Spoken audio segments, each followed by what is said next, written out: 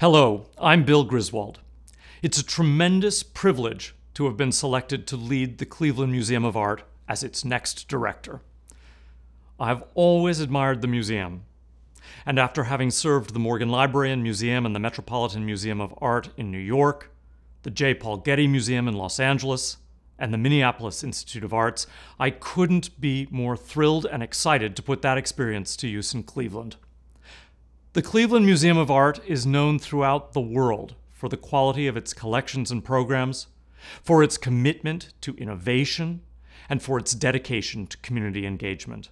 It's one of the most remarkable, dynamic museums in the country, and I'm especially glad to be coming on board at a particularly wonderful moment with the recent completion of a spectacular, world class expansion project and the centennial of the museum right around the corner in 2016.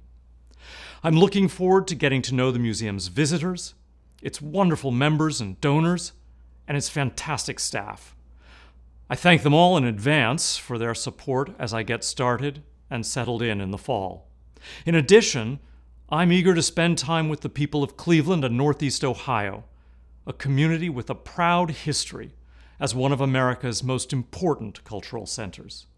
Together, we'll take the Cleveland Museum of Art into its second century, making it even stronger and even more welcoming in the service of this city, its community, and the rest of the world. Thank you. See you soon.